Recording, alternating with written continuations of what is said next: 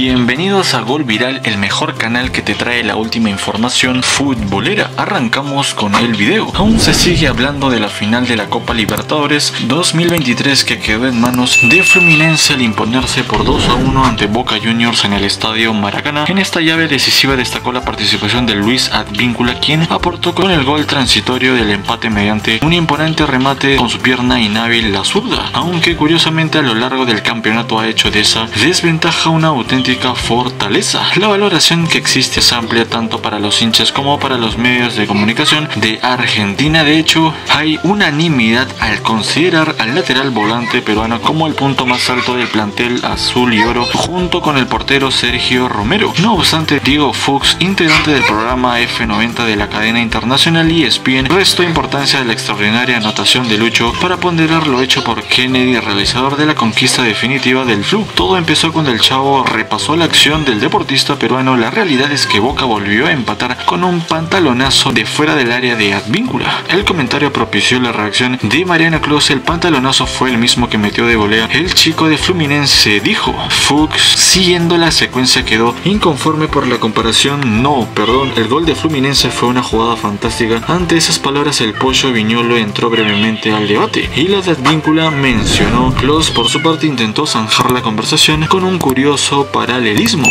Y si lo hace Messi estarías diciendo que lindo gol de Messi. Apuntó toda vez que Nicolás Fuchs agregó que no me compares a víncula con Messi. Incluso cosas que hemos dicho antes, este, que hemos dicho antes. No, cuando te hablo de los números digo, si vos este, ganás tres partidos de 20, eh, es una estadística que puede estar relacionada con el rendimiento. Le ganó a, le ganó a Unión, a Platense y a Centragol a Santiago del Estero.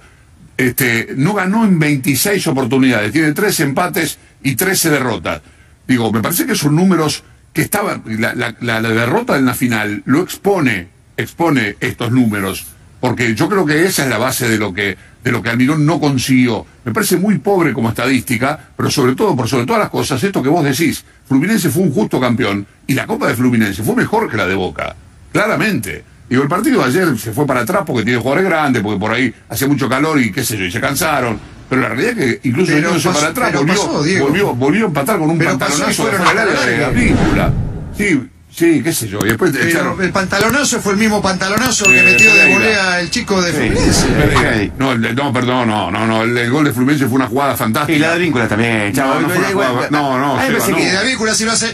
Ahí sí, y si lo hace Messi con el palo izquierdo, decimos qué lindo gol de Messi. no, no, espera, espera, no me compares la película con Messi y te voy a decir algo. Los dos goles, los dos goles. Yo dije los, que dos goles igual los dos goles de Fluminense fueron dos jugadas. Es más, te digo, el primer gol fue igual al de Prato. Fueron jugadas armadas, triangulaciones. Sí, yo estuve acá, yo, viajé, yo estuve acá, yo estuve acá. Y bueno, pero fueron dos golazos, vos me acabas de decir que fueron dos. Pero vos me dijiste que fueron dos pantalonazos, no, fueron dos jugadas fantásticas de un equipo que tiene Vos hablaste de pantalonazo. El pantalonazo fue de Advíncula, igual que el de Pereira. Vos hablaste de pantalonazo. El de Advíncula. Un pantalonazo de afuera del área. Advíncula patea el pantalonazo y, y Kennedy no. No. ¿Pero qué tiene que ver el pantalonazo que vos hablas? Bueno, porque porque lo de Kennedy es, es el, resulta, la resultante, el final de una jugada bien hilvanada, de una jugada bárbara. Digamos, son cosas distintas. Digamos, Fluminense es el mejor equipo que Boca. No, no, el, otro fue una jugada individual. ¿Cómo Pero uno fue una jugada individual y el otro fue una jugada este, colectiva. La de individual. Bien, vale.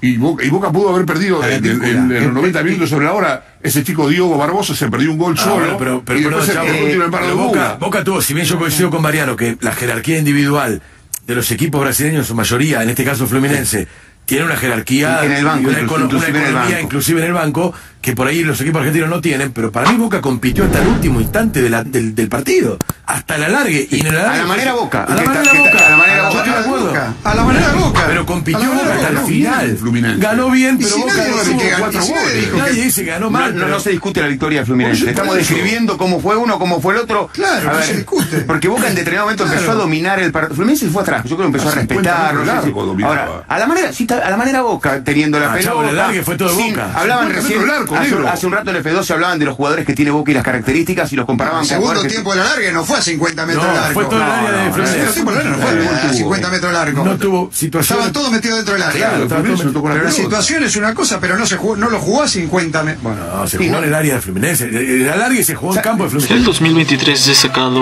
de Advíncula. El Rayo destacó sobremanera en el campeonato más importante de América desde la fase de grupos. Dejó su impronta goleadora anotando ante Deportivo Pereira y Colo Colo, luego replicó su buen momento en instancias finales contra Nacional y Fluminense. En líneas generales, Advíncula ha completado números destacados en el actual curso con la camiseta de Boca Juniors, ha jugado 21 partidos como lateral, 13 como extremo y 2 como interior en materia goleadora, entre tanto todas sus conquistas se dieron en la Comeba Libertadores 2023. La afición se volcada con Advíncula. Toda la afición de Boca Juniors ha cerrado filas con Luis Advíncula, quien lo han destacado como el mejor futbolista del plantel en la Libertadores 2023, no necesariamente por su aportación goleadora, sino por la manera en cómo siempre tiró para adelante desde la actitud y perseverancia en las redes sociales. Fue protagonista de varios mensajes de apoyo apareciendo como cuando apareció cuando nos estamos quedando fuera en la fase de grupos y perdiendo en la final no se merecía esto. Luis se leyó en X. Más allá de los goles importantes que hizo, no hay que olvidarse que en esta Copa Advíncula jugó más de 20 minutos lesionado y siguió corriendo y metiendo. Desde ese día te ganaste el respeto y la admiración de todos los hinchas de Boca. Gracias por todo, Rayo querido. Fue otro comentario de respaldo para Luis. Fernández, la gente silba por eso.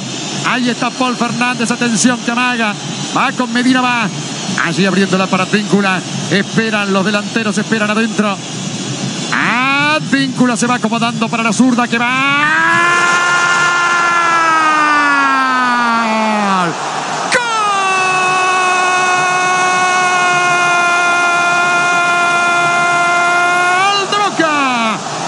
Advíncula a los 27 minutos del segundo tiempo. Esa zurda que tiene Advíncula eh, aparece aquí en el Maracaná también. Señoras y señores, empata Boca Fluminense 1. Boca 1, Advíncula lo hizo. Un gol notable, notable porque tuvo tiempo suficiente para ir armándolo.